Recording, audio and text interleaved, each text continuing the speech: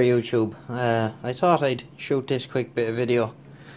Um, you seen me there recently where I was replacing the plug on the end of the patch lead. Uh, turned out that the problem was the SO239 on the back. So I changed that and all as well, but I just thought I'd show you the inside of this thing. They just don't make stuff like this anymore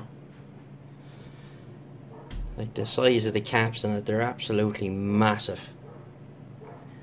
Very very well made.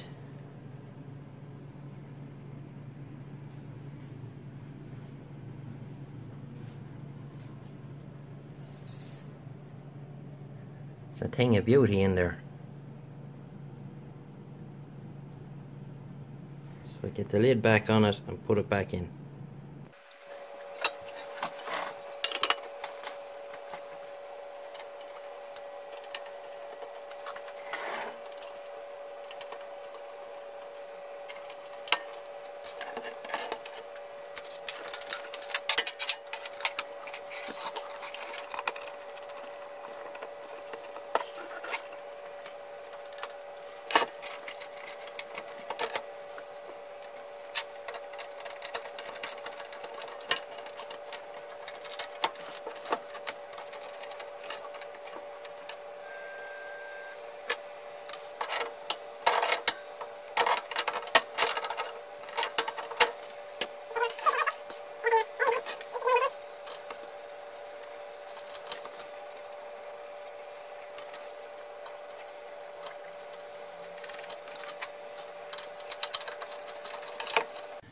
So it's back in place now and everything is working perfect. So uh, temporary fix for now. I need to order some Teflon type SO239s and I replace the whole lot of them.